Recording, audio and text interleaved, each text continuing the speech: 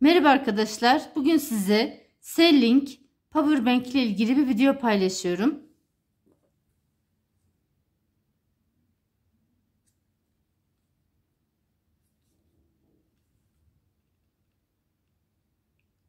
...5200 mAh'ymiş.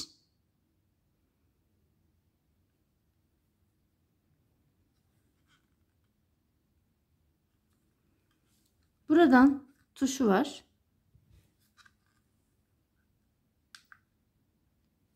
İçinde ne kadarının dolu olduğunu gösteriyor.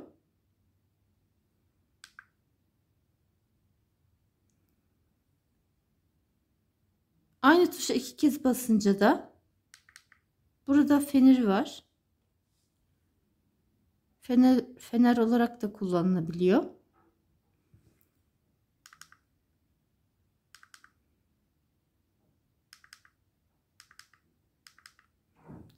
Buradan USB ile şarj oluyor.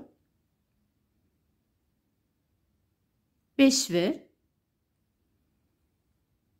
Buradan da 5V yazıyor arkadaşlar. Ben bu ürünü sipariş edeli uzun bir süre oldu. İnternetten sipariş etmiştim. Ve e, uzun bir süredir de arkadaşlar çekmecede bu şekilde duruyordu. Dura dura içinde kendi şarjı bitmemiş. Hala da kullanılabilir.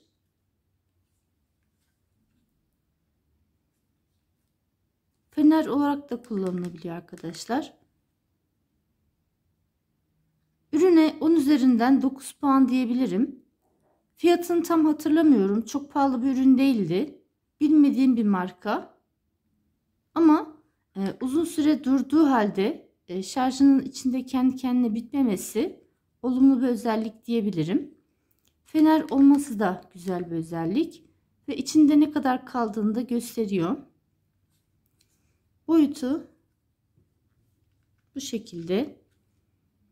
Çantada durabilir arkadaşlar. Sizlere Sailing Powerbank ile ilgili bir video paylaşmak istedim. Videoları beğeniyorsanız beğenmeyi ve abone olmayı unutmayın. İzlediğiniz için teşekkür ederim. Hoşçakalın.